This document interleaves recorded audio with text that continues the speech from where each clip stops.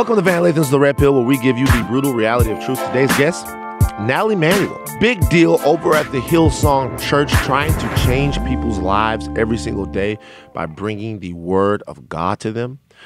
Uh, brand manager over at Fear of God Clothing with her brother, Jerry Lorenzo, taking the fashion game by storm.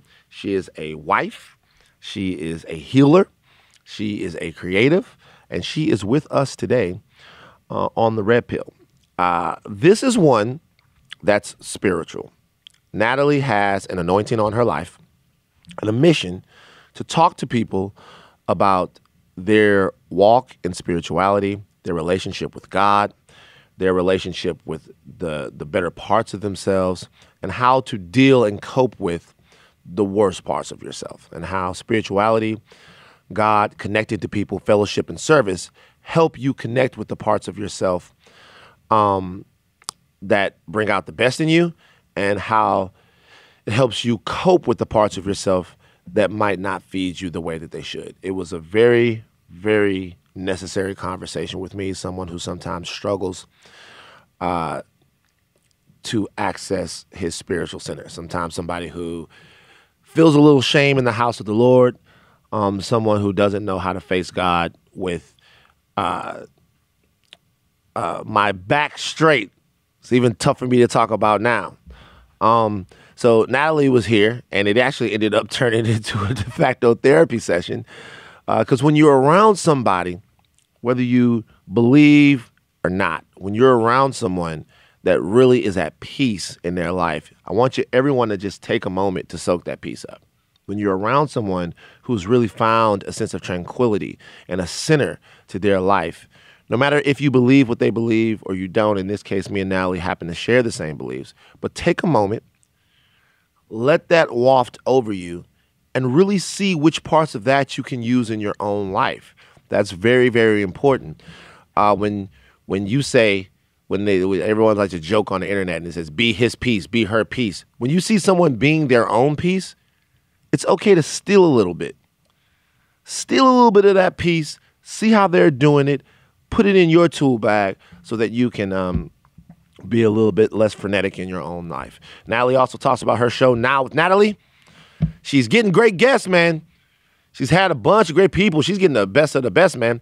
She's getting uh, the, the Hailey Baldwin. She's getting she, I think she had uh, uh, Tyson Chandler was on there. Kelly Rowland was on there. Her brother Jerry Lorenzo was on there uh, and the show is doing real well. That's on the Hillsong channel. Um, you can check that out.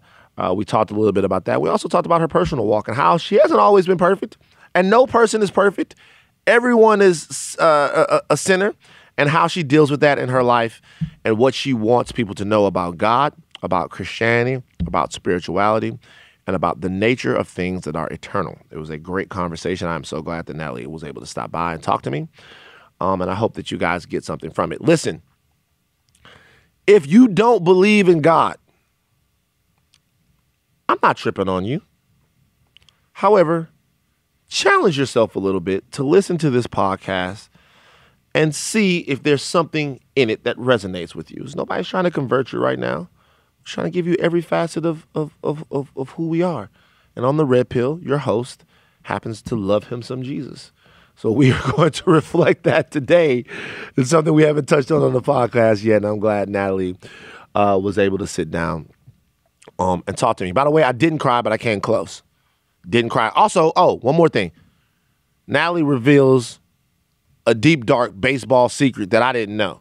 I didn't know this baseball secret about her and her brother and all this. I, I had no clue about this. So uh, hopefully you guys enjoy it. Now, um, before we get to Natalie, I want to tell a personal story. Okay?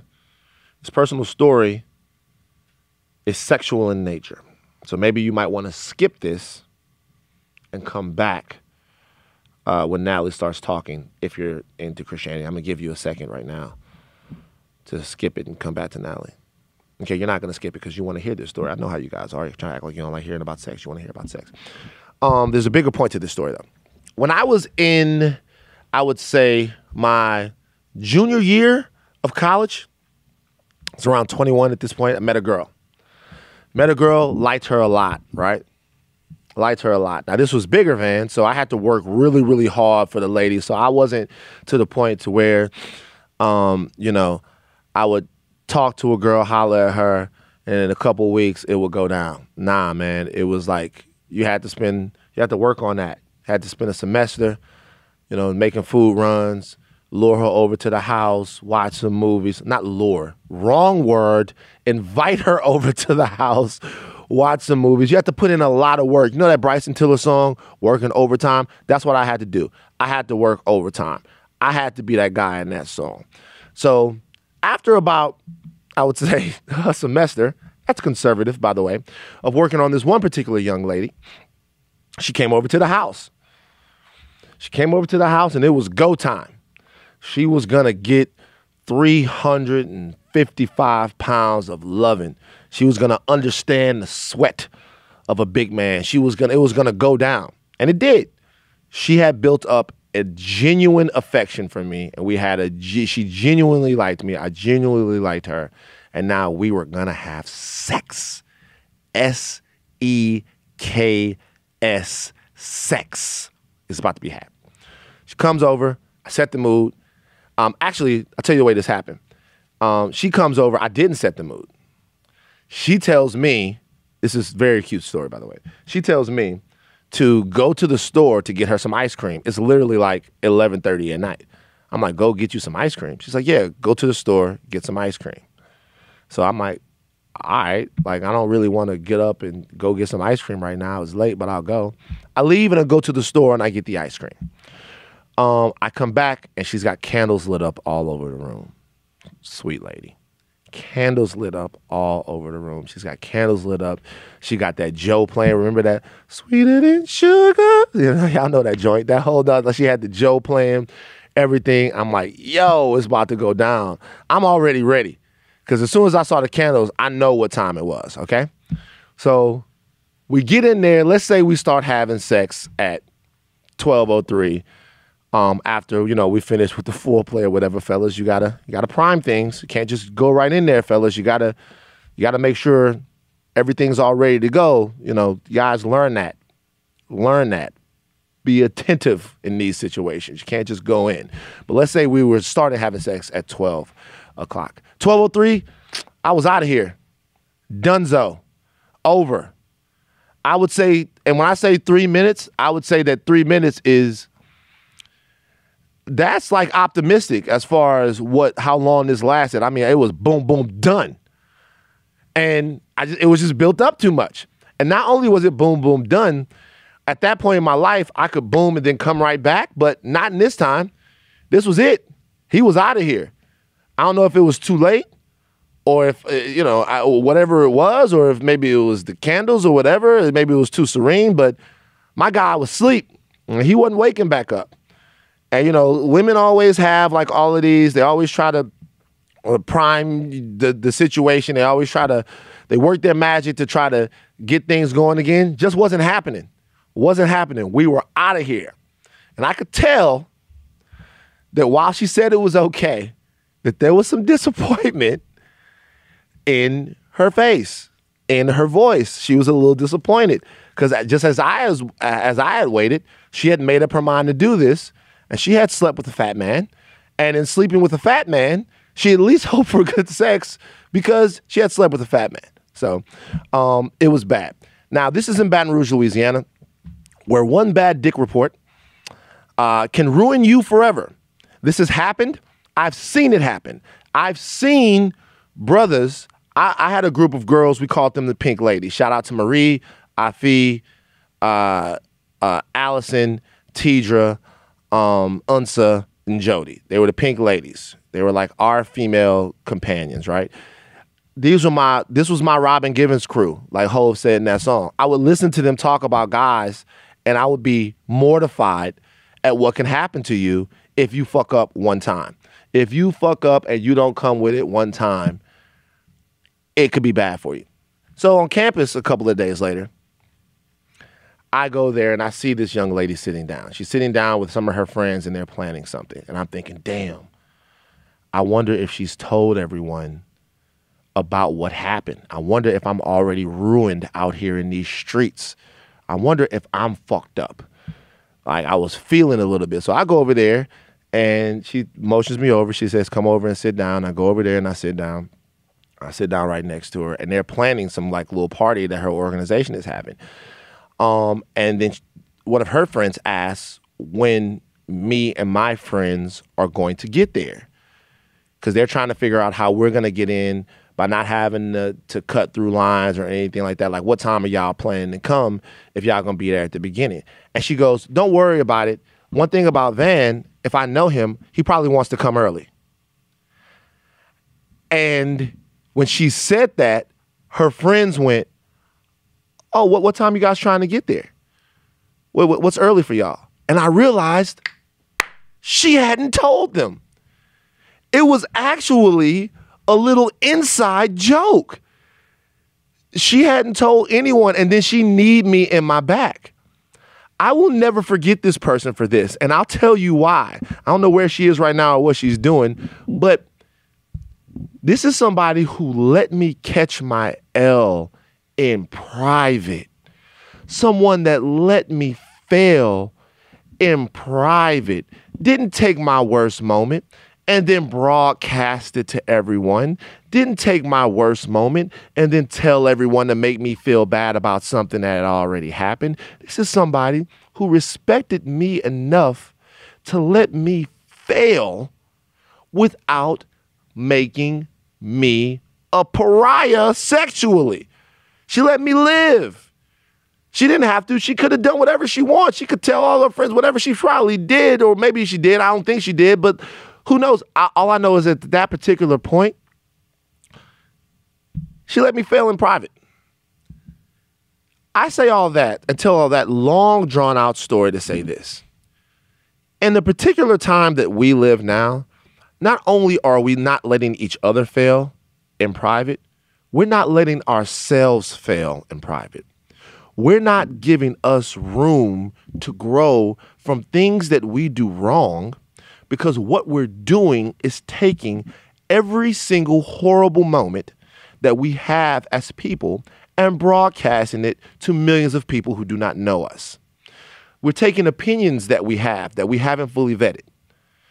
And we're telling everyone before we tell the people who we trust in order to work through these opinions and get to a better understanding of issues. We're taking incidents that happen to us, broadcasting them everywhere from before we take the opportunity to step back and go, was I right about that? Am I seeing that the right way? If I have problems with people or issues with people that might be problematic, that might be offensive, that might not be well thought out, why don't I talk to people that I trust about these things? Why don't I tell my ill shit, my ridiculously bad takes and opinions to people who can help me work through them before I tell a bunch of people who don't know me? Because if you show people the ugly side of you, they'll take the things that are beautiful about you and make them ugly.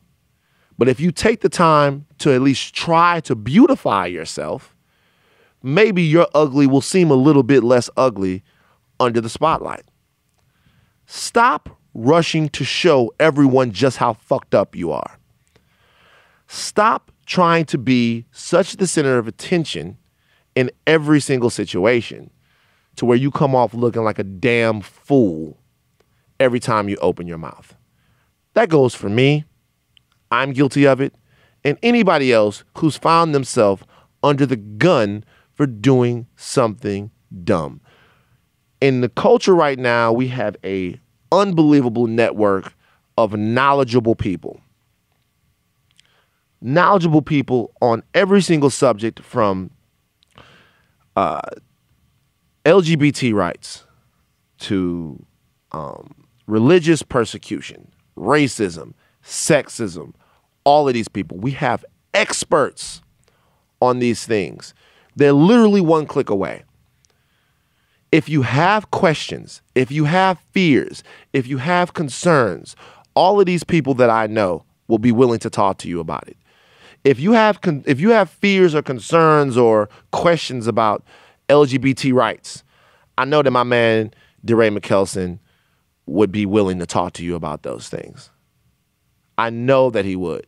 If you want to know if you have issues with the Me Too movement or the way that they work, I know that Tarana Burke, a powerful, fierce sister, would be willing to talk to you about those things.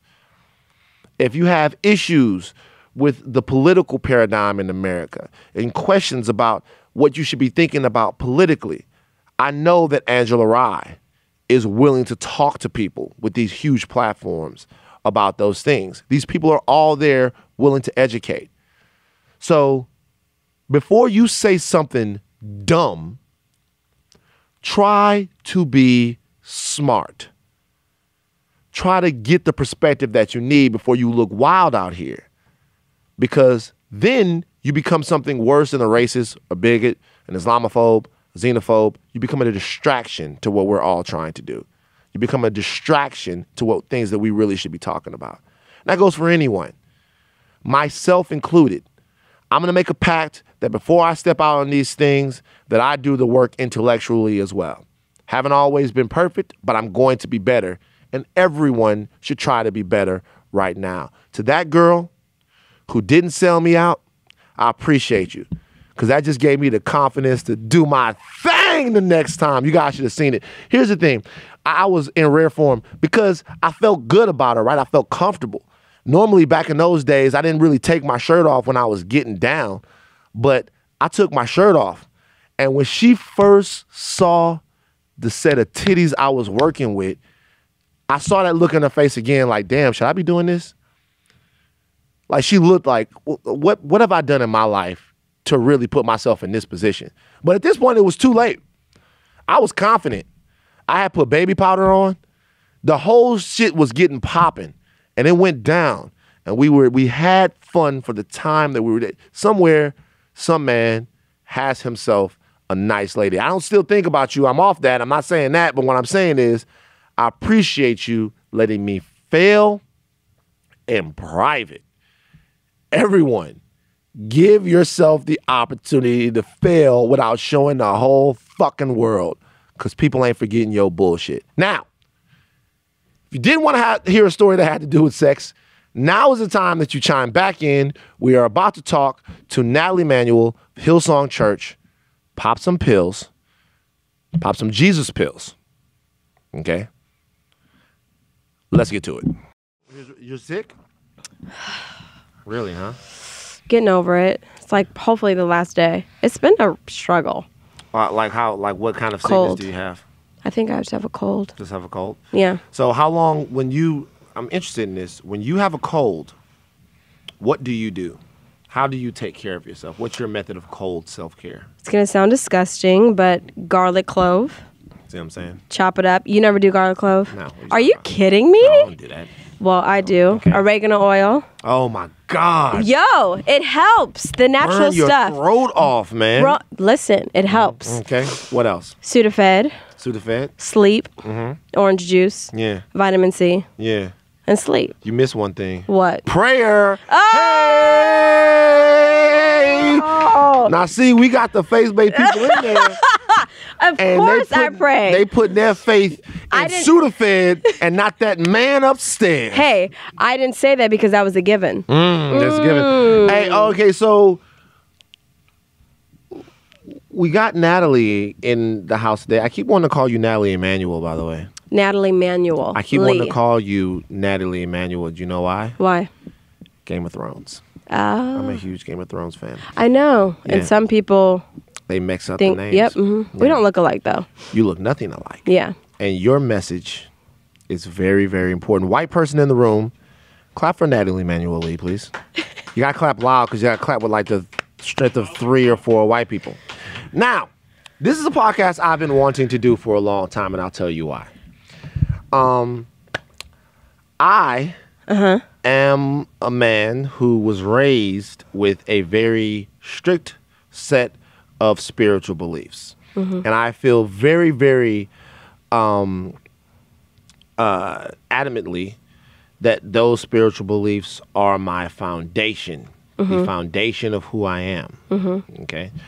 I sometimes don't do the best thing, the best job of living out what I feel like God's purpose for me is. and living out what I feel like uh, a good Christian man should be. I get angry. I get lustful. I get uh, I get focused on so many things other than what I'm supposed to be focusing on, and it's a struggle. Yeah. Now you are with Hillsong Church. Tell a little bit people about, about, about what it is that you do and um, your message and your television show, which I've watched several episodes of. Which, which I've did. watched. Well, I watched what they sent me over. Did you like it? I thought I, I I didn't think that I would like it, but I, I I didn't think that I would like it, but I was incredibly moved. Ooh, come on. I was incredibly it's for moved. The, it's for us, man. Yeah, I It's was for us. incredibly moved. I thought it was it was exactly what we need. But tell people a little bit about you before I tell you about what a bad Christian I am. First of all, you're not a bad Christian. None of us can Oh, be bad oh, Christians. I am a bad We all fall short. Yeah. Let's let's get that clear. Yeah, you know. I, I fall like bow wow short. like, like, you know what I mean? I'm doing my best. Oh my God. I'm doing my best. I you know, cannot. every morning I wake up, I'm like, dog, you brought me here again? Yeah. You got a plan, don't you? he yeah. sure does. All right. So to tell a little people Yeah. about your show and the So I have a show called Now with Natalie. It's on the Hillsong Channel, Mm-hmm. um, and it's a show about identity and purpose. Um, I think for me, the reason why it was something that I saw a need of is seeing where our culture is and the plight of humanity and where we are as a people. Mm-hmm. I think that we put our worth and our value and all these other things, but in the right thing. Mm-hmm. And what is that? We put our worth and our value in the things that we do, the money that we have, the cars that we drive, the clothes that we wear. And don't get me wrong, God loves us, all of us, to have an abundant life. But when it defines us, it's when it gets tricky. When we put our worth and value in it, it's when it gets tricky. Social media has done a great job to sell us this counterfeit of identity and purpose of this thing that we need to reach to in order to feel like we're fulfilled and we're living in our purpose and our call. Right. So for me, um, I gathered my friends, some family members, my community, and said, "Let's talk about this." And you know, I did gather believers, and and the reason why I gathered believers is because it's it's imperative to talk about how their faith has been a pillar for them to really recognize who they are and why they're here and where they're from. Hmm. So. Hmm. That is the show. So we have people from Hailey Bieber, Tyson Chandler, Jerry Lorenzo, Angela Rowland. Davis, mm-hmm. Kelly Rowland, mm-hmm. Elaine Welteroth, and, and they go in. They go in and they tell us they tell us they're real, but more importantly, they tell us their story mm-hmm. and they tell us their struggles. But again, where we are as a culture, it's not good. Mm. Where we are as humanity, it's not good. Mm. Because we feel like with that thing over there, social media, Instagram, Facebook, mm-hmm. we go on our phones and all we do is compare ourselves. Right. That's all we do. And we're not realizing that we're not only comparing ourselves to something that's fabricated, but we're comparing ourselves to something that we were never intended to be in the first place, which is what? which is somebody else. Right.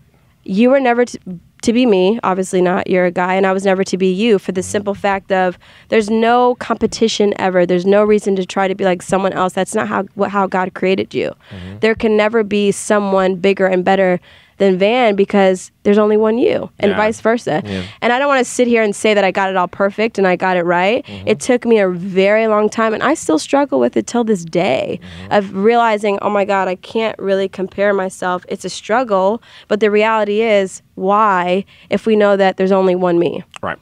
Um, So- you know what's funny is that uh, Tell me. like working here at TMZ sometimes, we uh this is this is sort of arrogant uh on my part, but people would there's a sometimes I feel like in order to get people to accept the the status quo of society or what you need people to feel ordinary so that they do what you want them to do sometimes. That's how i feel.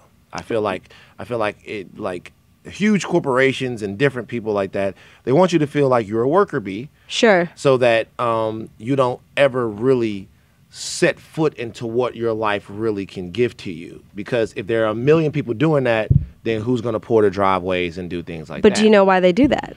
why They're insecure leaders. all right We have insecure leaders that are leading an insecure pack. Mm-hmm. You're not supposed to create more followers, you're supposed to create more leaders. Mm. That's the issue. Yeah, and people when I'm when we're working here, they go, they say they say to me, Van, you're not special, and I say, well, I am the only Van who has ever existed, and I'm the only van that ever will exist.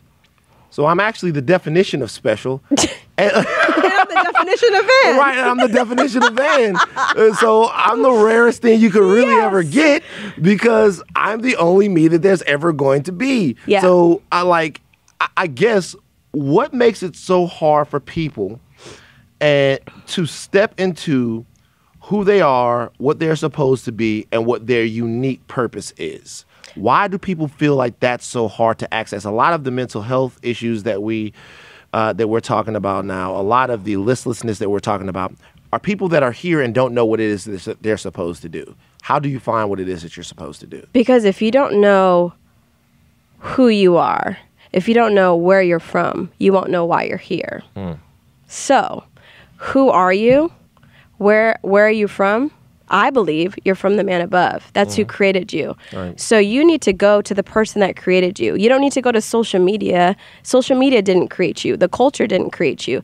He created you. So it's mm-hmm. your job to ask him and lean in and say, "What why am I here? Who are you? You're not what the culture says you are. Mm-hmm. The culture can't put a label on you. They didn't create you, they didn't make you. Only He can put a label on you. Mm-hmm. So when you're confident in who you are, if you know that you're accepted, you know that you're redeemed, you know that you're whole, if you know that you're all those things, it'll be easier for you to find out why you're here. Right. Does that make sense? Of course. But that's it. And I, I understand I'm making it seem like it's so easy. It's not easy. It's difficult. But I mm-hmm. think that once we have that an awakening for as a culture, we'll be free. Right. Why why do you feel like it's it's so hard for people to grab onto? because the mass is telling us that we have to grab onto something else that's not a truth that's fabricated. The mass is saying you have to be this in order to fill this. Tyson chandler talks about that and he goes in on it on in his episode about you know becoming famous and what it means to stay famous and how he says that. Did you watch that episode yet? Uh no. Okay. Mm-hmm. Um, he says that you have to be what the forces of the mass want you to be mm-hmm. in order to stay there, in order to feel fulfilled. Mm-hmm. And that's not who you want to be. That's not who you want to become. So to me, it's hard because it's counterculture. It's counterculture. It's counterculture to say that we don't have to be all these things to feel something. And listen, I struggle with it. I'm sure you have too. It's an everyday thing that we struggle with, but it's a false narrative that's being told. You talked about God and what He has Yeah. in store for us. Um, I was remember like way back in the day, right? I was driving. I can't remember which which guy I was listening to. I was listening to one of these guys, and they were on One of the preachers? One of the preachers. I was listening to one of the preachers, and I remember he said something. This was back in Baton Rouge that I never forgot, and he was like, "I want you to stop and consider something about God for a second. And he was like, um, "God longs for you." Mm.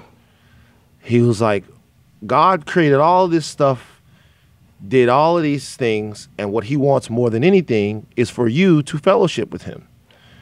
Is the most powerful being in the world just wants you to be like, I appreciate it. I love you too. Come on. Like it, it's this. That's all that that God really wants for you. There are certain ways He wants you to show that love, but that's what God. And it, boy, and it it um that struck me for like a long time. I Mm.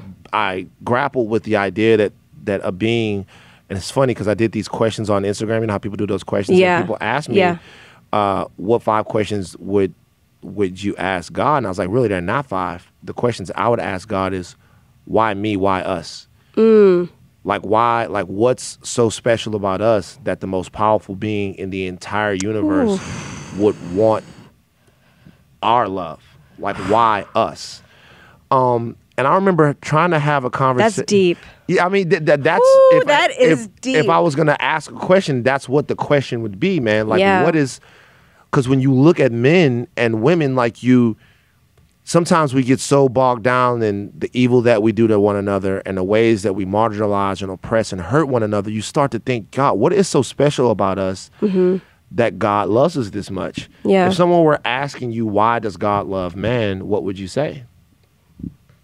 Why does he love man? like why does he love us like why like why like if you were trying to explain to someone because a lot of people out there and the reason why i'm asking this question is because i immediately took that home to one of my homeboys Yeah. who just doesn't have any spirituality. And Mm-hmm. I was trying to explain to him that there's something Mm. Bigger. powerful than you Yeah. that wants to see you do good and wants Because he believes in us. Mm. He believes in us. Jesus died for us on the cross. He believes in us. He be- that's why I said when you were like, "I'm such a bad Christian." There's no such thing as being a bad Christian. Yes, there is. We all sin. No, there's Right. not. Right. There's no sin that's greater than it- another. What if we do it consecutive days? Doesn't matter. Right. Doesn't matter. What if it's like 10 days it doesn't matter. 20, 20, Natalie. 30, 50. Thir- we all sin. Right. We all sin, and no sin is greater than another. That's scripture. Mm. So he believes in us. Mm-hmm. And at the end of the day, he just wants us to experience his love. That's Mm-hmm. the whole point of it. I know it sounds so cliche, but that's just the reality. And there's so much peace. The fruit that comes with the fellowship, like you were talking about earlier, Mm-hmm. with him, it's just so much peace, so much joy. And um, we have to realize that we're not here for us. Mm. We're not here for us. Right. We're here for others. Serving. Hailey talks about that in her first episode. Nothing is about us. That's what she says. Nothing is about us. And when we get too high and mighty, that's when we get it wrong. The greatest among us serve. Right. In order for us to be a leader, we have to serve. Mm-hmm. So, why does God love us? Because He believes in us and He just wants to experience His love Do you think and that the- fellowship. The, part about because even all of the great uh, figures from the Bible were ultimately servants. So do you think that that's something that we're lacking? One thing that social media does tell us to do is get as much as you can, uh, show everybody what you have, and I don't. I think we're getting away from. Actually, we have some really good examples lately Who? of of people who are serving others. yeah. Hov, Jay. Hov, Love hope. Hov is serving. Love Hov Hov. is Hov is Hov. I mean, you know, he he reaps the benefit of, Yeah. of all the biz, different business, but he's serving. He's Yeah. doing what he can to make his community Yep. um, better. Sure is. And I and I think that that's something that we're getting away from, Mm-hmm. like culturally and on the level, it's disconnecting us. Yeah. If I made you in charge of Christianity right now, if I made you in charge of spirituality, how would you repackage Christianity to people to make them understand how amazing it is? Because when I was growing up, it there wasn't really a choice, right? I mm. went to church. I understood God. Like I had to, I still had to find grace in my life. Me and mm-hmm. Arian Foster talked about this. There was a moment where, like, I don't, you guys aren't gonna believe it. But there was a moment that God spoke to me. There was a moment where, of course I believe it. How would I not believe well, that? people listening to the podcast.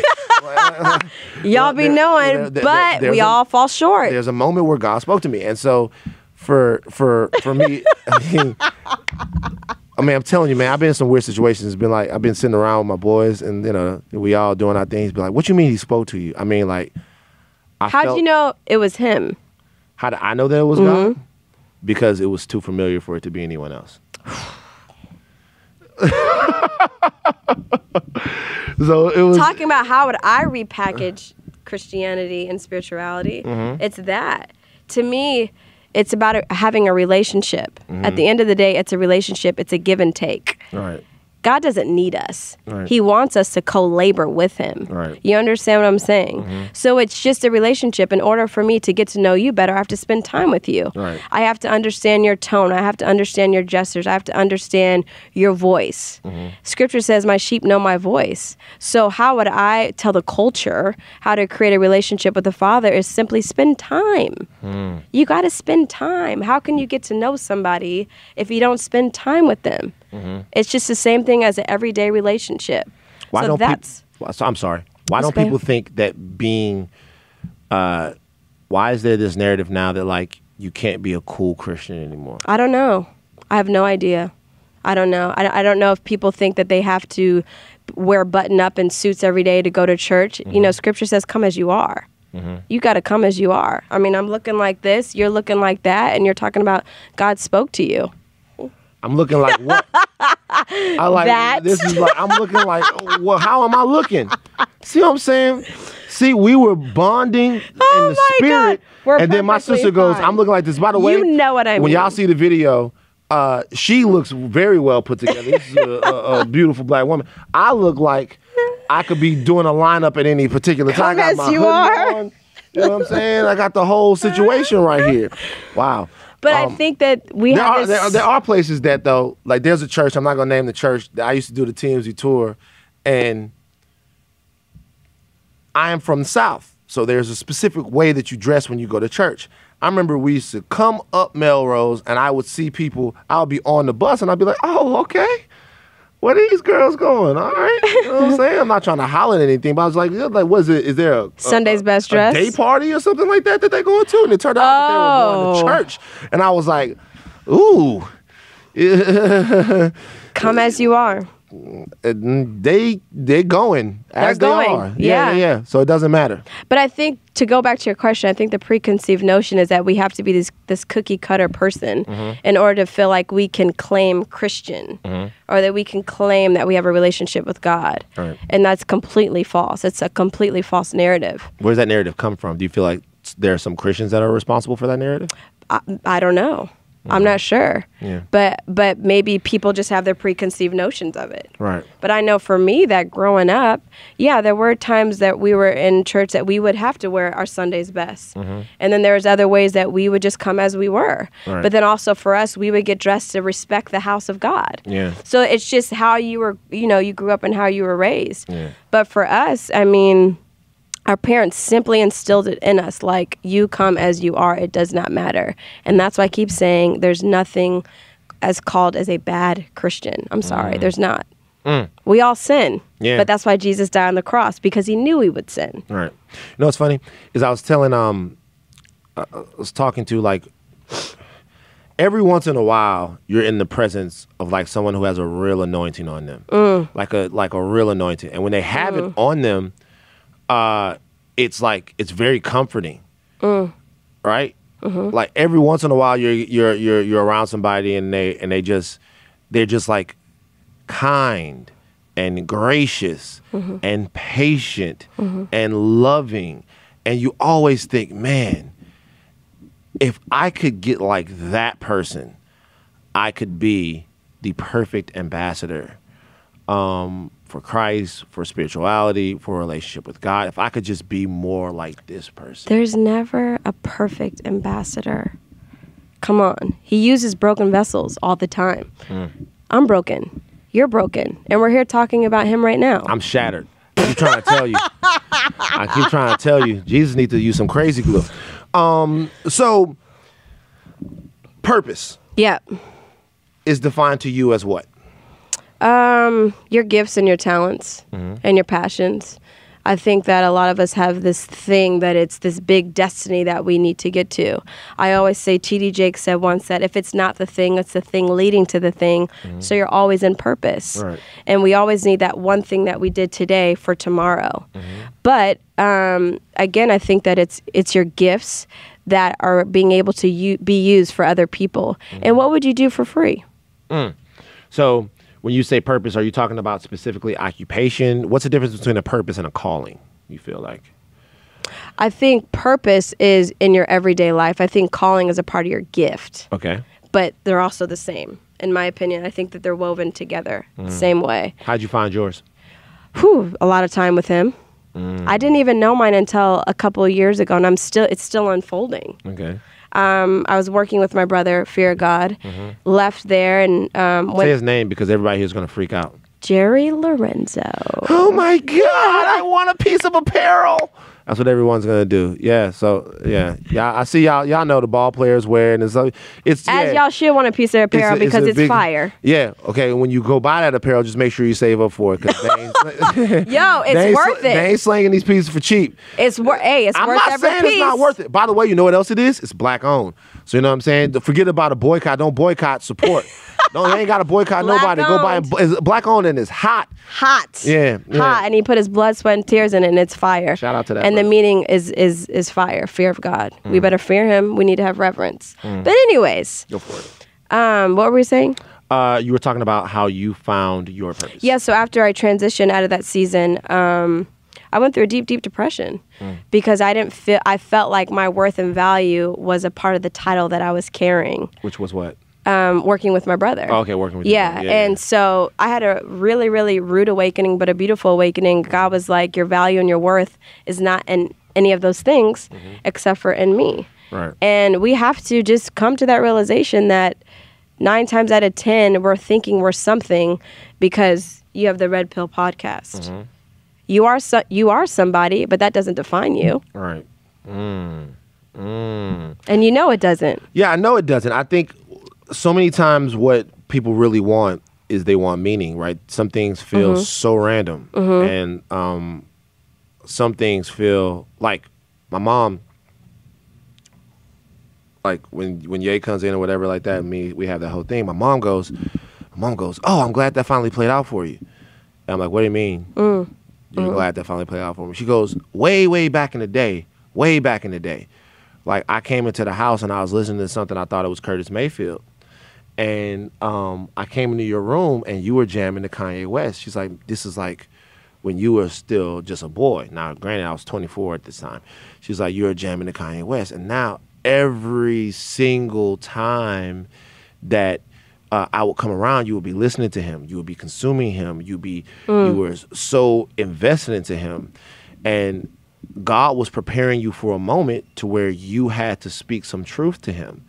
And it took you that long to prepare for it. And I would just look at her, I'd be like, "Yo, man." How are you always saying stuff like that? You know- you know what I'm saying? And so Wow. and so I think though that sometimes these things happen, and for me, I would have never been able to come up with that, right? Wow. Because these things happen so randomly. Mm-hmm. They happen so randomly that they give me anxiety, right? When I'm when I'm prepared to do all of these things that I'm trying to do now, I think I get nervous. I think, what if that would have never happened? Yeah. What if these things would never happen? What else might not happen for me that I need to happen? Yeah.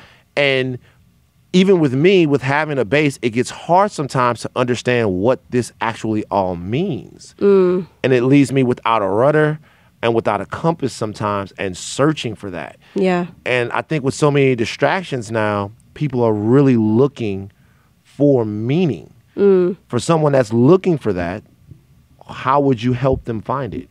service. You have to serve. You have to serve other people. Mm-hmm. If you know that you have a gift, serve them with your gift.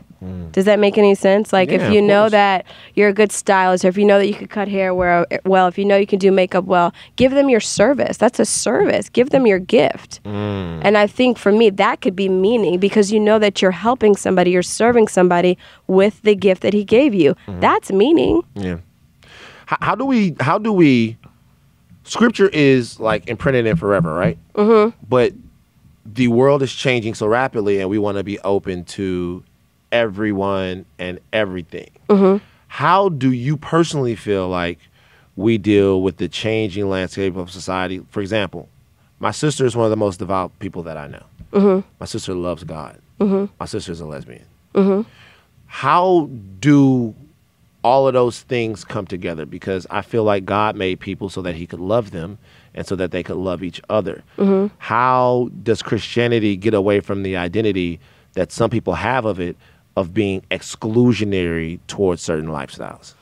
that that's that's their own walk. I can't answer that for them, but I Mm-hmm. know for me that you again like scripture says, you come as you are. Right. God loves people. Right. So regardless of whatever that thing that you know people may not agree with, Mm-hmm. he's called us to love those people just the way that they are. Right. So I can't speak for anybody else. Do you ever feel like do you ever does it ever bother you that sometimes Christianity gets a bad rap in situations like that? Like there's so many people out there that use the Bible or Jesus as a method to fuel their own hatred. Um, whereas that's really not what the whole thing is about. Is that ever frustrating for you? Yeah, because it's we're we're called to love people as they are. Right. That's the only thing that I could think of. That's the only thing that I know. That's the only thing that I'm convicted with. Mm-hmm. I know that what he says for us to do is love them as they are. So Mm-hmm. Yeah, it could be frustrating, but at the end of the day, we're called to love, What's your favorite part of church? fellowship, community. Mm. People don't realize that we need community. We can't live in this isolation world behind our phones. Mm-hmm. We're dying because of it, you know, because of the loneliness. And You hate social media. I don't hate it. I love it. You, you- I don't think you. I'm a. Let Let me let me tell you something. Hey, put Natalie's Instagram on the screen. No, no, no. Like, like, like. Uh, I didn't mean to snap my finger at you, by the way. Yes, I was about to say, like, dang, I don't know if you should listen to no, I him. didn't mean to snap my finger. Put Natalie's Instagram That's not up on the service. What? That right there? That wasn't Me and Maddie have a weird relationship though. Like Maddie one time hit me up. I was like, "Yo, Maddie, I need some clips." Maddie was like, "Van." Wait, that's the show Instagram. Yeah. See. Go back to. Uh, you could go to following, and it's Natalie. Go to the two that are following. Okay. Oh. Oh, you weren't prepared. Oh. Wow. You could click on the picture right down. No, no, no. Like me right there. yeah. Click that. And then click. All right. There we go. Natty, man. Okay, so click that right there. All right, so let's. I like it. let's- Social let's look at- media. let's, let's see if she's actually using social media. Oh, by the way, this brother. That's my husband, I best know. friend. Hey, man. Fine. I look. I looked at this brother right here. I don't like seeing people that are more handsome than me. Me. Like, because every every every every once in a while, I wake up and I go, man, I'm handsome today. And then look at this dude, freckles all over the Fine. place. I've known him since I was 14. Tell me about this relationship and what it does for you in your life. Ooh, great question. Um, met him when I was 14. Been my best friend ever since. We've been married for three years.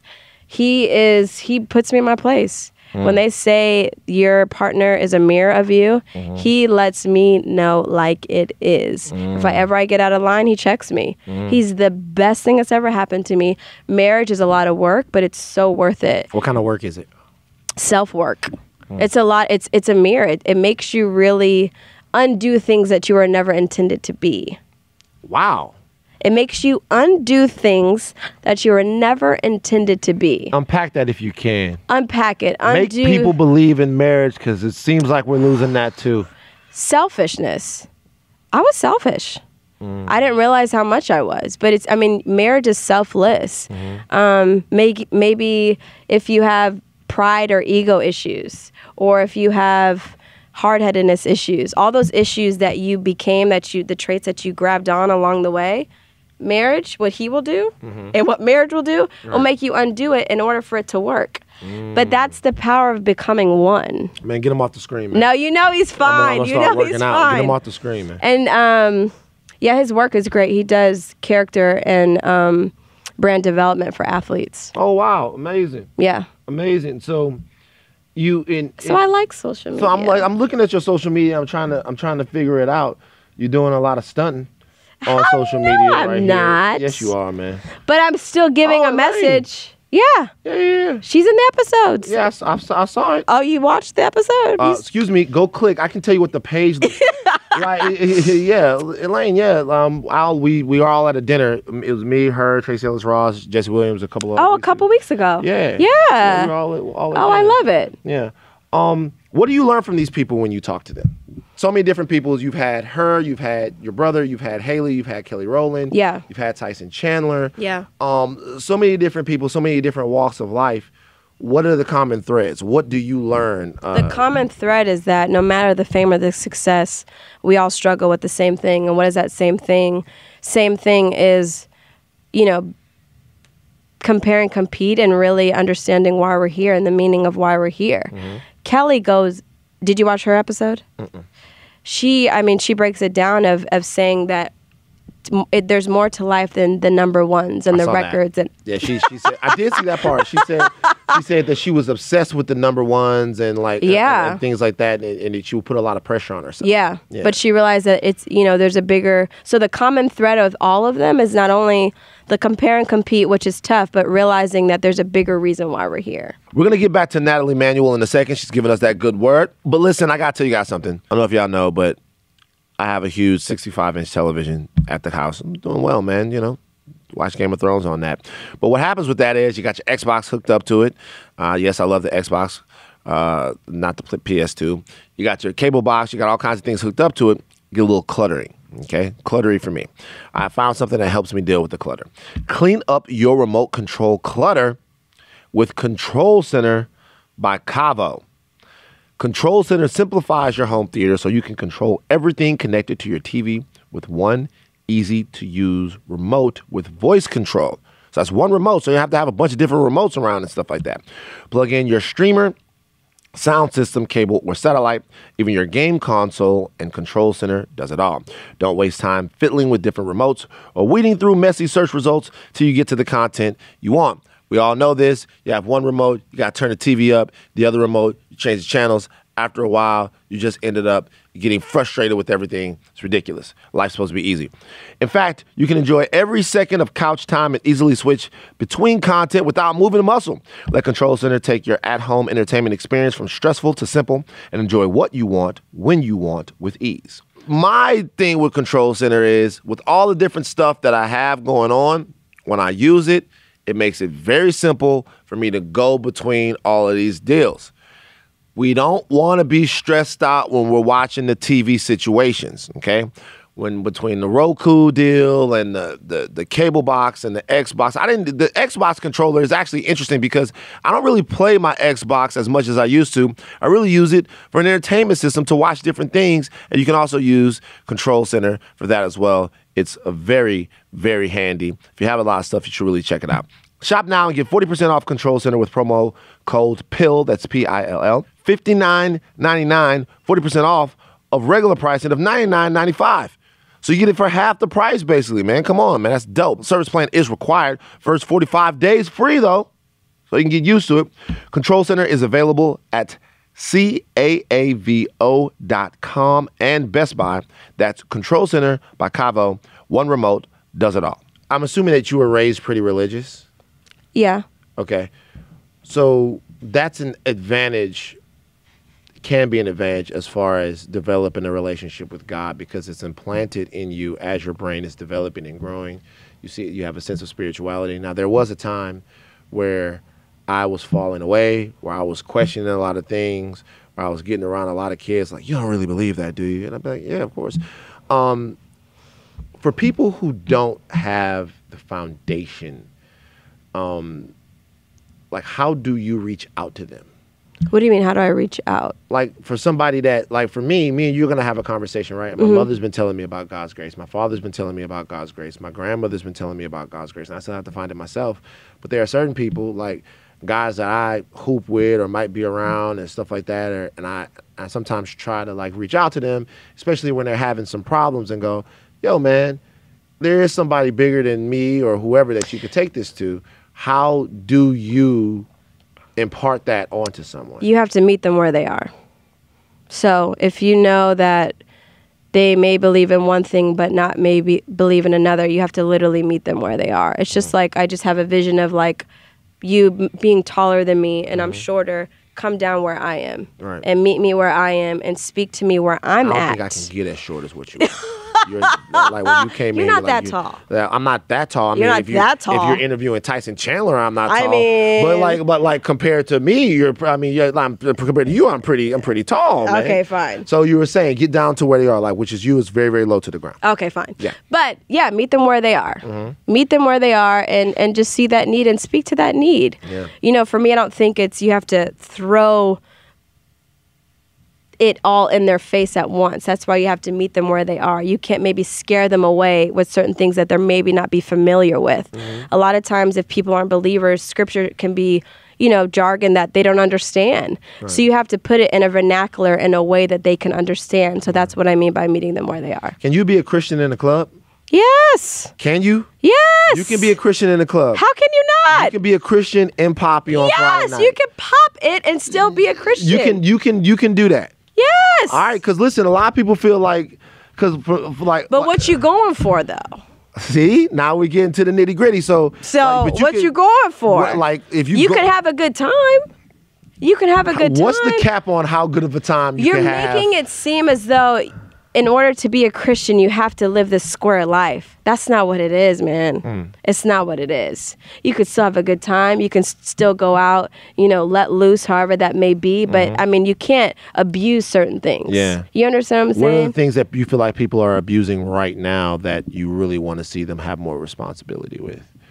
Probably abusing alcohol. Yeah. because it takes us to places where we shouldn't go and shouldn't be. Mm-hmm. Something of too, some somebody using something too much is never a good thing. Right. Yeah. So I mean, Right. Are we over how? There's no doubt about the fact that we're over sexualized. Um, what are your thoughts on that? What are your thoughts on kind of what you see as we talk about Instagram, we talk about different things like that, as far as the culture of uh, of of really just kind of hedonism that we're in. That I that we all. What do you? indulge Can you just break it down? I mean, Break it down for us. I don't want to call anybody uh, call anybody out, but we seem to be a little bit more. Free. Yeah, which is nothing. I don't have any. I- Listen, I don't think that there's anything wrong with it. I don't. I don't. Personally, I think that everyone should be able to assert their personal sexual liberation and their freedom however they want.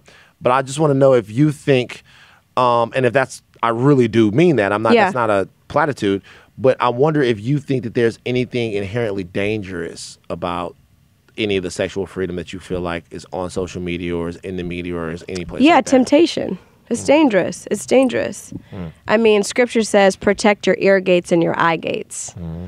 And so you know some people that you probably shouldn't be following, mm. and you know that where that train of thought can take you. Yeah. Protect your ear gates and your eye gates. That's scripture. That's wisdom. Right. So So that's on you yeah. to have the discipline to unfollow the things that you shouldn't. And that's on them if they feel that they want to be liberated and free in whatever the way that they feel. Mm-hmm. That's not me. Right. That's not my life. Yeah. But So we have to be. There's a little bit more discipline that. heck yeah. Right. You know what you can take and what you can't. Right. That's very true. As the, the, the, the- That's why you're stuttering. well, it's not. It's not that. It's not so much that I'm stuttering because what I'm saying is, you know, it. You're right. Thank Well, you. yeah. No, no, no, no, no. There's no, No, if, no, answer, no, no buts. ifs, ands, or buts, man. There's no ifs, ands, or buts. We gotta be. And by the way, as I mature, Yeah. like there are a lot of things that I dealt with. I dealt with for a long time. Uh, I, I, an addiction to like the same addiction Kirk Franklin had. Like I was told, by the way, actually we should be completely transparent. Listeners of the Red Pill, if you don't hear Van cursing as much as he normally curses, if you don't hear Van using Oh, some of the language as, oh, I this you, you ever listened to this podcast before? yeah, I'm just saying, wow, think look at look at that. Right, if you- Evolution. If you, don't hear me doing this, it's not because I've evolved. It's specifically because Natalie's here, and I was told not to be as spicy as what I normally am. I was told, listen, this is faith based. This is about Jesus. Okay, you want to spend an eternity in hell? You better clean your mouth up. That's what I was told. That's exactly what they said to me. By the way. They they threatened my eternal salvation. we didn't do that. um, You didn't. Uh, so, speaking of hell, is hell a thing? Yeah, there's heaven and hell. There's heaven and hell. Yeah. So, um, uh, there is a, there's a, a movement, or not even a movement. There's a sort of a. Uh, my dad is very big on the concept of hell, and hell Okay. was the way that my dad would enforce Scare this. you? Yeah, I think I told the uh, iron story. Did I tell the iron story with the devil's footprint? I was ironing when I shouldn't have been ironing, and the iron fell on the ground, and it it it, it seared an iron print into the ground. My dad walks up there. He says, "You know what? You was up here doing you what of you were supposed to do. You know what that is? That's the Hell? devil's footprint." Oh my God, It's the that's devil's so good. hoof print that's in your room right That's there. That's good. And when my that was good until my dad said, "Now when you go to sleep tonight, there's a possibility you could wake up and Satan could be standing in his hoof print." Now I want you to know, you guys, it was 1987. I was seven years old. I think that's a little bit much. He's still scarred. It- uh, I'll never not think that. I was like sleeping under the bed. I was sleeping with my Bible and all. So, do you think some? Do, do you think though that um that people sort of that sort of brand of Christianity where they say, listen, if you don't do this, I'm babbling. Where does consequence fall into all of this? Because God has eternal consequence for sin. Yeah. That's something we don't talk much about anymore. Yeah. Is there still a place to discuss that? As far as heaven and hell. As far as yeah, well, I mean, even on earth there you pay for your sins, but we don't talk too much about what goes wrong if you go wrong anymore. I feel like Well, yeah, I mean, there's consequences that happened. Do I know what consequences you'll have? I don't know. That's between you and him. all right, You know what I mean? There's lessons that I've had to learn. give me some of them. Oof. Something where you feel like God just sat you down. Chill, Natalie, and learn this right here. Um, my mouth. Mhm. As a child, don't say mm-hmm, like that, tell. like you can see it. Oh tell. my gosh! tell. Uh, my mouth got me in trouble Mm-hmm. growing up a lot, but it was it was definitely a lot of consequences that came with that. Mm-hmm. Where, you know, my parents would always say, you know, be slow to speak and quick to listen, and that's hard for me. Mm. and and seeing or was hard for me, um, and seeing that it was probably one of the greatest things that was such a hard thing for me, and now to see that I'm able to have a show to listen to people. Mm. So it's it's definitely he can switch it if if if you listen. Mm-hmm. But he sat me down like if you don't get this right, if you don't get this together, who would have thought that it was going to be a part of my purpose and a part of the plan? Mm. So Yeah, it's big. Like, it's it's always interesting to kind of kind of find that and like and learn those lessons. For me, for a long time, it was uh as outspoken as I am now. I've always been that way to people within my life. Been what way? Outspoken, Yeah. like willing to put my opinions out there to people that were around me. But there was a time uh in my life where I was, if I didn't know you and if I wasn't comfortable with you, I wouldn't say a word. I was very, very shy, very to myself. And my mom would just be like, "You weren't created to be that. That's not mm. why. That's not why you're here." And she said, "Somewhere you know that, so you got to kind of work with God, and you kind of got to find." Would that." she say that when you were younger or now? oh she would say it like when i was when i was younger my mother's my biggest fan when i was younger my mother would would, would tell me about like she would say you're burdened with purpose fan Oof. she would be like she would be like son embrace it like you're burdened with purpose. Yeah. you know what i mean? I heard loki said that in avengers too. Uh, like he, like like he says i'm burdened with glorious purpose because he had to take over the world. But um but my mother would say that she would be like like uh, understand it and she always speaks in the language of the eternal. What this is going to mean forever. What this is going to mean for everyone and there's such big concepts that sometimes i feel like people get afraid of spirituality because the one thing it will do is something that people have a problem doing is it'll put you uh, completely in the place of this world that's so much bigger than you So much bigger. And we take the pressure off ourselves.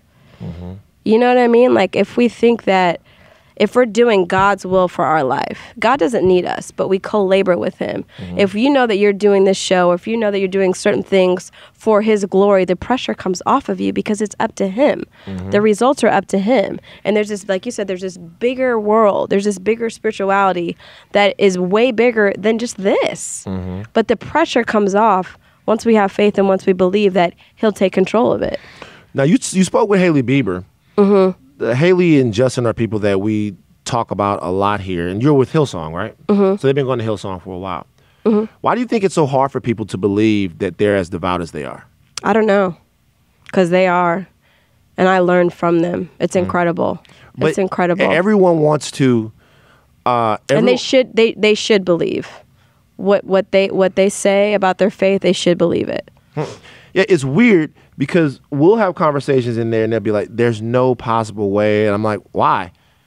The kid's 25. He's been doing this thing for a long time. He's found something that works for his life, that's moving for his life. Why is it so hard to believe? Why, do you think there's a part of people that don't want to believe that people can actually find God, really believe in God, and really embrace it? Justin's been working at this for a while. Hailey was really, she comes from a very religious background. Yeah. So why do you think it's hard for people to like to to for it to sit with people? I, I don't know, but I could probably speak for people that are successful and that are famous that maybe the outside world may think that they don't need God. Mm-hmm. Um, you know, a lot of people that equate to God is sometimes out of a need. Mm-hmm. And so when people are successful or if they have, you know, everything that they think at their that at their fingertips, they might not think that they need them mm-hmm. him, but I'm not sure. Mm. But I know that they have a devout relationship with him and I learn from them. They're amazing. Like, what do you learn?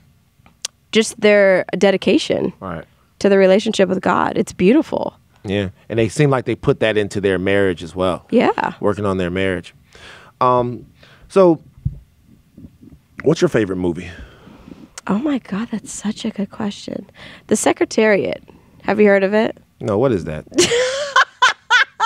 The only reason why I have to say it right now is because it's on my phone and it's a horse. It's a it's a movie about a horse. I know it sounds so emotional. Secretariat is a horse. Yeah, it's the it's that movie. It's listen, stop. Don't even judge me. Don't judge me. Let me tell you why. Stop. Listen, y'all. Stop. It's because God can help you with everything except for your taste in movies. No, let me tell you why. Okay. Can I give you the reason? Yeah, I know all about Secretariat, by the way. It's because the horse, the blinders on the horse, and it just honestly reminded me of the season that I'm in and was in and will continue to be in is to run your own race. Hmm. Thank you. Want to know something else about Secretariat? And the heart. the heart. Secretariat had a bigger heart than the rest of these horses, man. Don't listen. Listen, I, I gotta be honest with you. First of all, that's a terrible movie to pick for your favorite movie. I'm well, sorry. it's not my, t- but right now, right now. Is your favorite movie? and probably hardball. Hardball. Uh, with wow, where G Baby gets killed.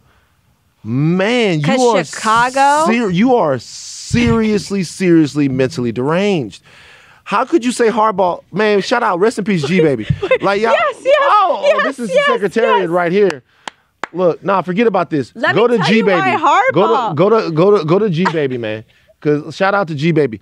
I have to tell you why. Tell me about hardball Because my dad was in baseball, and I mean, I grew up in a baseball family. Okay, what's your So- dad do in baseball? He was a manager of the Chicago White Sox and the New York Mets, Jerry Manuel.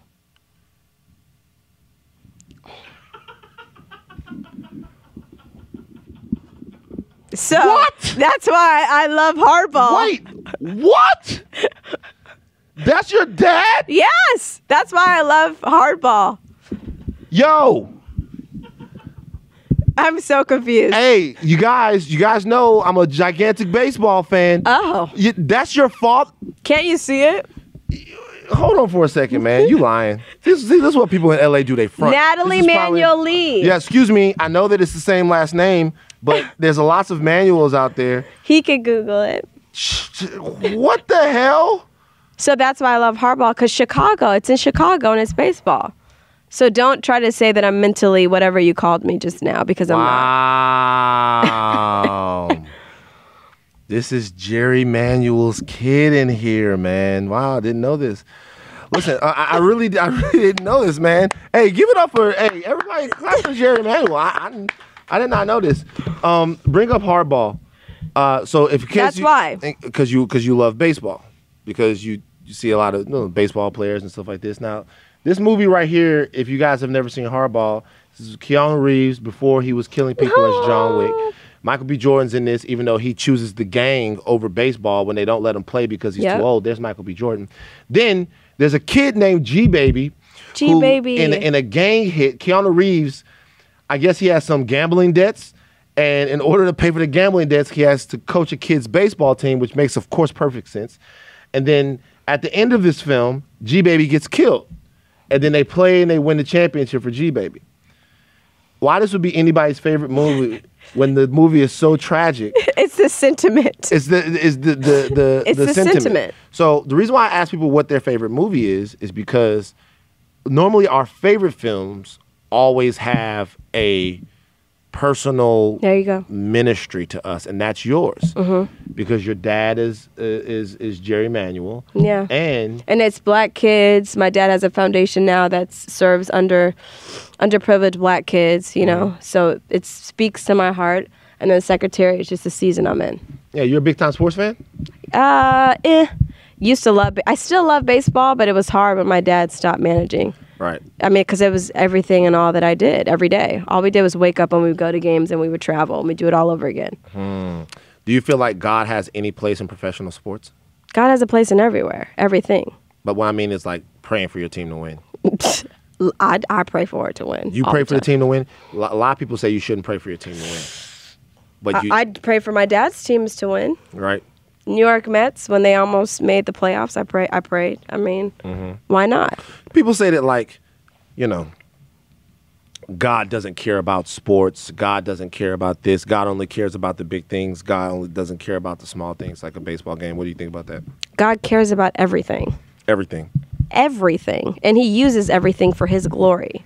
Speaking that good word in here today, do you ever get up there? You you do you do you preach at at Hillsong? Do you No. that?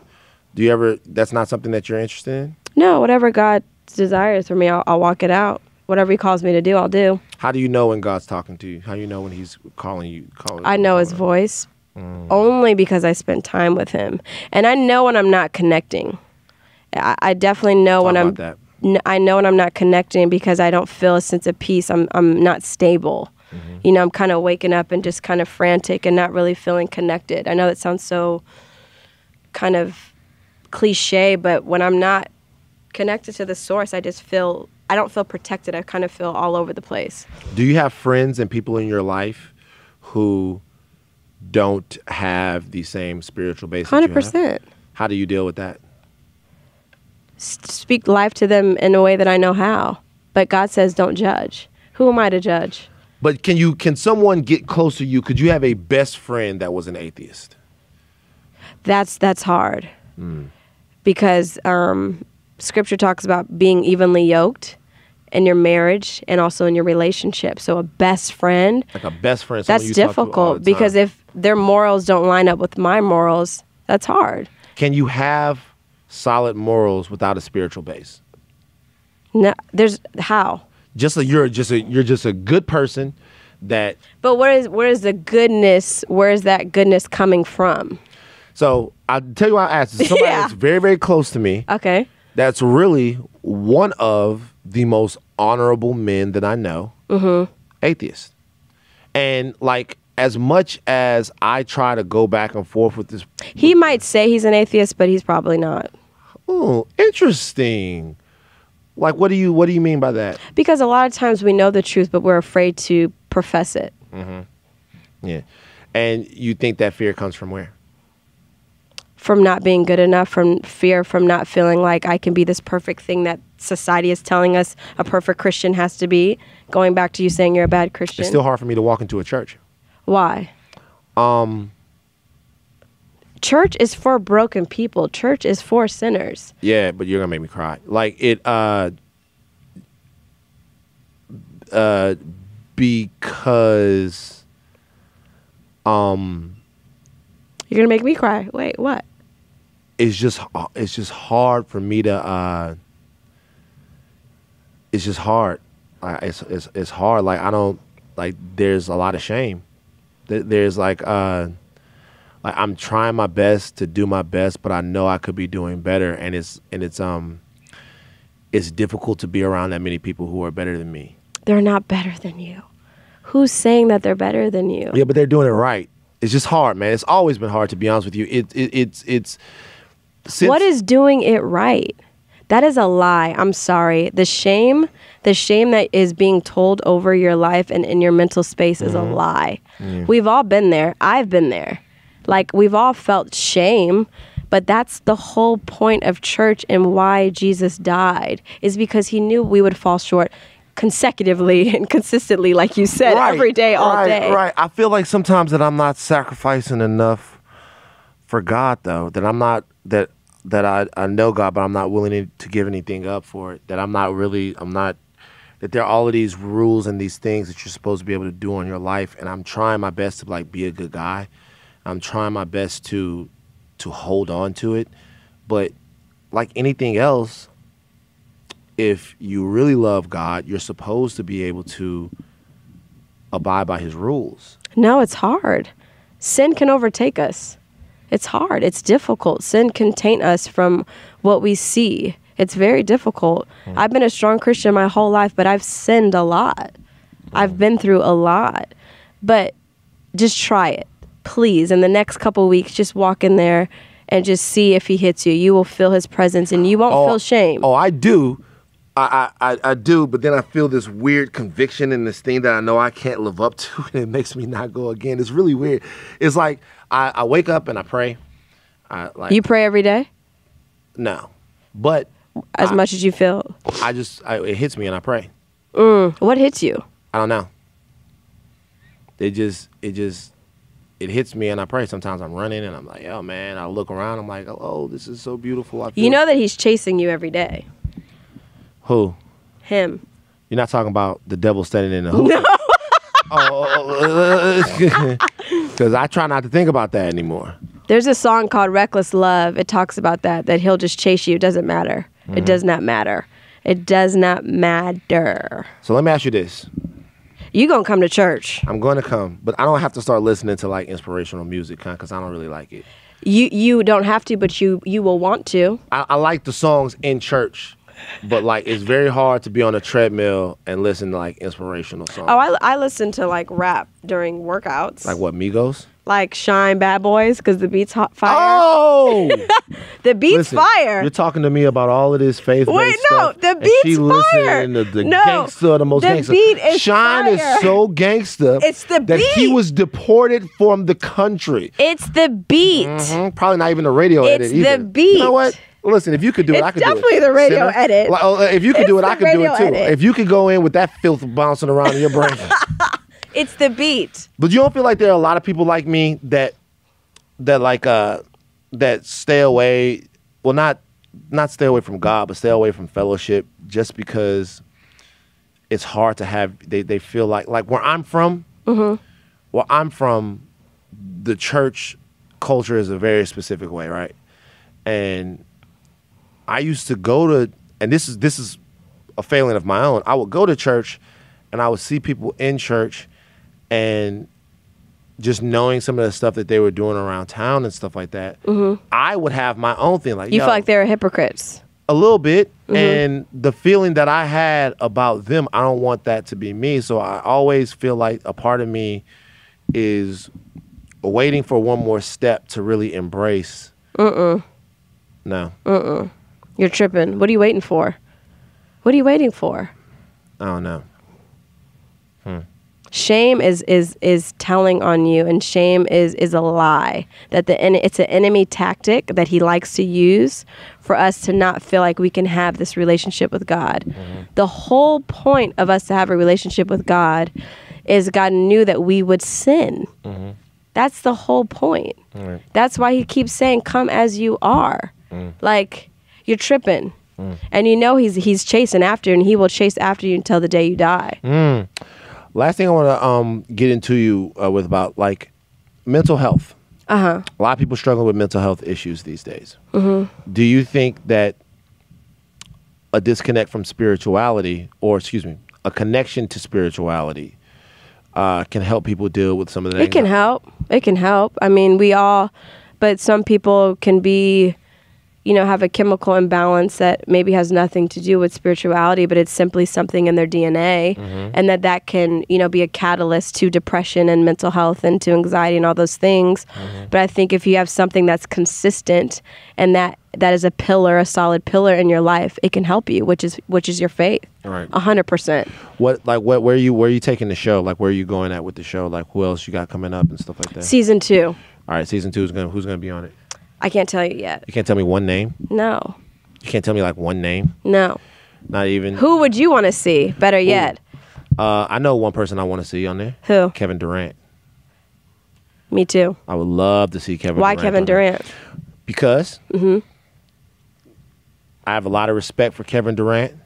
I admire Kevin Durant a lot, and Kevin Durant is someone who, uh, you know, we watch grow from a boy to a man. He's always embraced his faith, but he's got a personality and sort of a.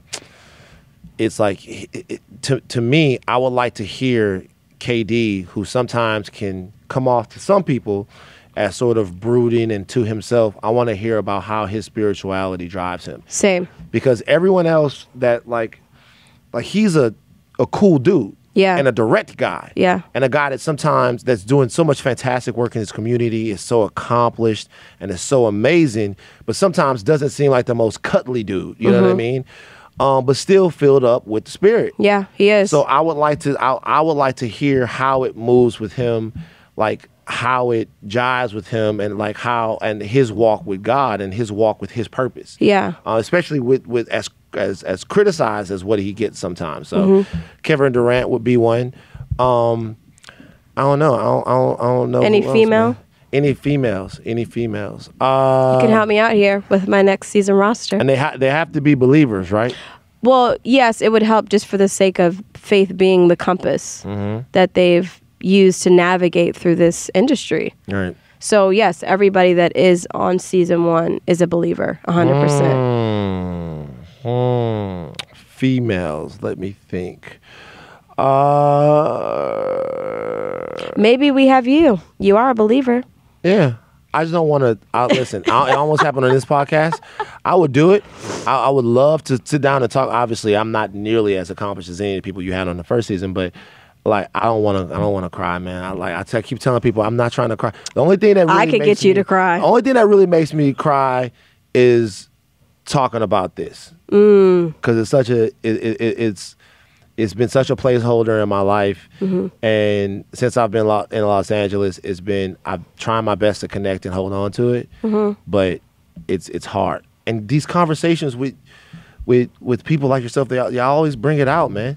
We, man, hold on to it and seek it Mm-hmm. and use it. He's chasing you. You like Hillsong? Love it.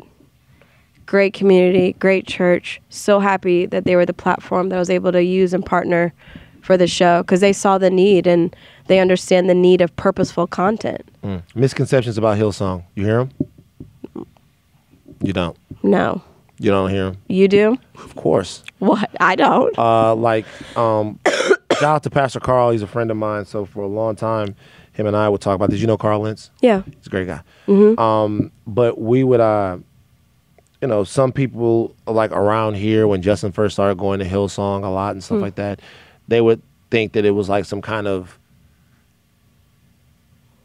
What is that? this is like like like it was some kind of cut off family of people that like were No. controlling his brain or something like that.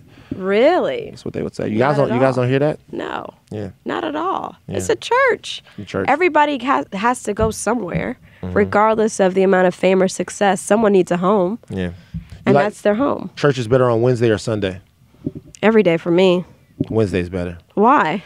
Wednesday was always my favorite time to go to church. man. Wednesday was like Bible study for me, and then Sunday was church. Wednesday Wednesday was Bible study and it was choir and they would be in there Ooh, that worship. They would be in there singing and they were worshiping and they were singing, but they were also like they were also like in the middle of working things out and sometimes somebody would really catch it. And It would Yeah. just be, and there wouldn't be a ton of people in there. It It's just be us. amazing, right? It's Yeah. like you could just see the pain lifting off of us when we worship. Mm-hmm. Where do you go to church? Right now, Where did you go? when I was there, Mm-hmm. I went to several different churches. I used to go to my um my great grandfather, uh, God rest in peace, Reverend QT Ellis had several different churches, include including the New- Newark Baptist Church. I went to Shiloh Baptist Church, but I also went to Bethany World Prayer Center, Larry Stockstill, uh, a, a bunch of different places down there. Though. Well, you're Oh, always ooh, welcome. Ooh, God, shout out my boys.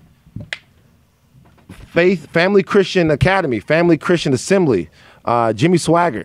Where's that? That's in Baton Rouge, Louisiana. Now I know you guys are gonna remember when Pastor Swaggart, Reverend Swaggart got involved in all of that stuff in the late '80s. Forget about that. He, you know, repented.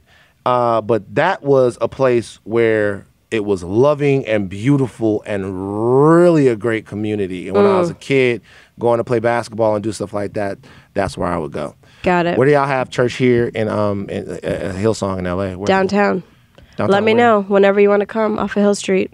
Okay. 10, 12, 6, and 8. And you can meet my fine husband. man, man, look, nah, I'm not coming, man. Cause man, I, I'm not coming, man. Cause the You would love is- him. I'm sure I would. Ooh, man, you would like- love like, him. Listen, I need some church with some homely people. Some who? Some homely people. Where How the- is he not homely? No, I'm not. I'm saying some ugly people. Where the ugly Oh my at? gosh, I And cannot. I need a church. Stop uh, it. like, where there's got to be a church where some Stop ugly it. people. Stop you said it. come as you are. That means if you ugly, you can come too. You come as you are. Right. So come on, come on Sunday. Come to Hillsong. Nah, man, y'all got. Come on. Nah, y'all got Hailey Baldwin and that dude. In there, Oh man. My not- God, and make me- Brian Lee. And Brian, yeah, yeah, that's gonna make me feel Brian, Brian Lee, Justin Bieber. Like if I can't, I can't go to this church. Maddie, we need a church where regular looking people can go and feel. You're tripping. Don't don't you think that? I know you're joking. Maddie's like, what are you talking about? I'm not regular looking. Look at Maddie's me. coming with. Yeah. All right, listen. I want to tell you something. Yeah. Um. First of all, I didn't know that Jeremiah was your dad. Are you tripping out? I didn't oh know. my god. I, I didn't know. You didn't do your research. I didn't. Well, that's the look. I did the research, but I did the World Series champion, 1997. Florida Um, Marlins. Florida Mar- I did. I didn't know he was. I didn't know that was your dad. By the way, as much as I've, is your brother Jerry Manuel Jr. Jerry Lorenzo Manuel Jr. Tripping. You're done. Fired. By the way, as much as I know about him, I never knew that either. By the way, Fired. never, Fired. never knew it. Well, because he takes his middle name as his like, you know, stage Mm-hmm. Man. name, if you will. What's the most favorite baseball player you ever met?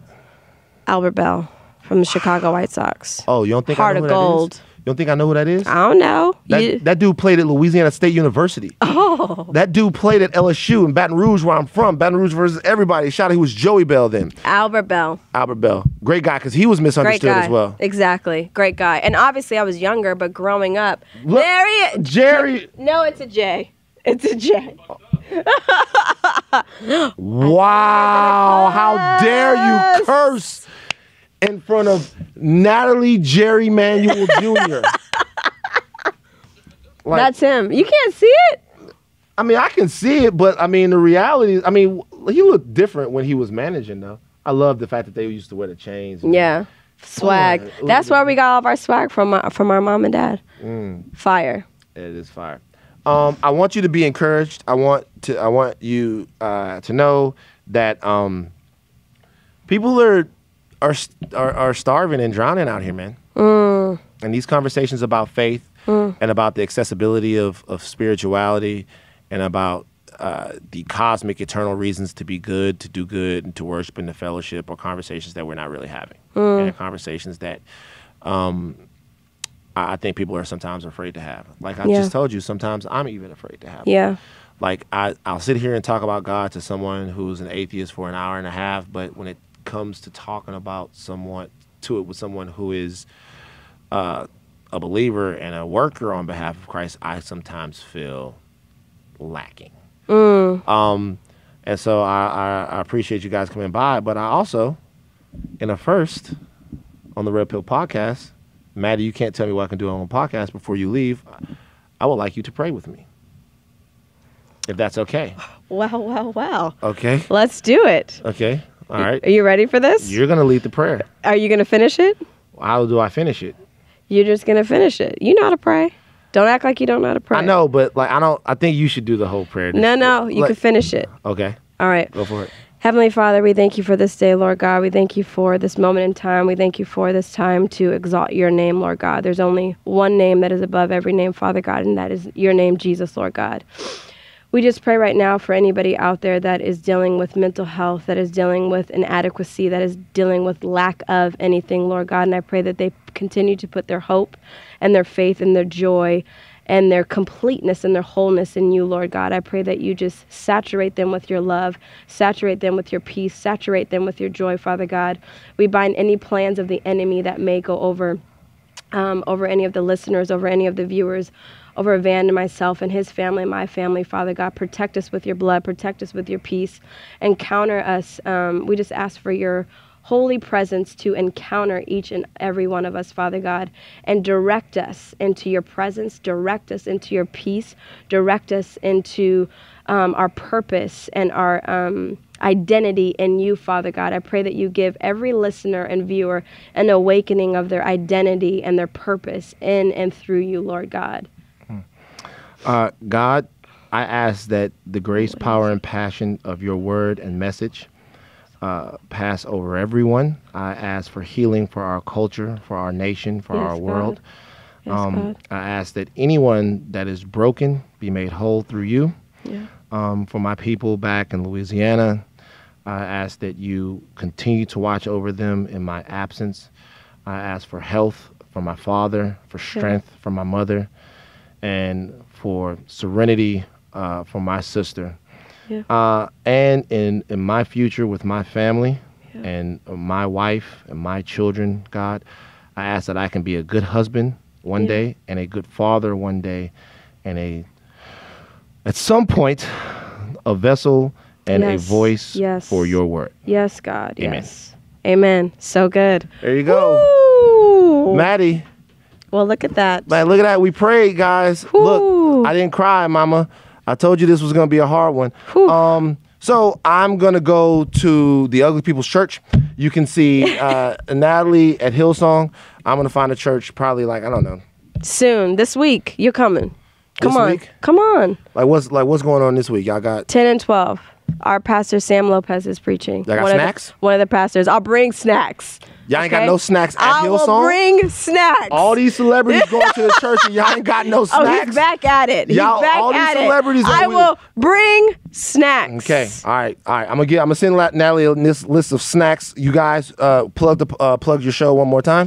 Hillsong Channel, and every Sunday night at 7:30 p.m. Pacific. If you've missed it, go to hillsongchannel.com backslash Natalie to see the episodes. And if you want to watch old videos of the White Sox, that's on MLB TV. you can see her dad doing this thing. Yes. That's it. We out. All right. Thank you, Natalie. I am happy that the Spirit touched me, and even happier that I did not cry. I- sometimes I cry when I'm getting all into it with the Lord. I don't know why, man. I got some issues. Uh, but yeah, we talked about it earlier. When you're listening to this or watching this, you might be doing it on a platform uh, at your own home when you're trying to sit down and you don't want to have to reach over for a different remote to turn it up and then turn the channel back to whatever you were watching. Hopefully, you wasn't watching nothing you weren't supposed to be watching. That's what you were just talking about the Lord. You can clean up that remote control clutter with Control Center by Caavo. Plug in your streamer, sound system, cable, satellite, or game console and control everything connected to your TV with one easy to use voice control remote. Shop now and get 40% off Control Center with promo code PILL. That's P I L L. That's $59.99, 40% off, regular pricing of $99.95. You're almost getting this joint for half off, man. That's what I call a DEAL deal. Service plan is required. First 45 days are free. Control Center is available at caavo.com and at Best Buy. Control Center by Caavo, one remote that does it all.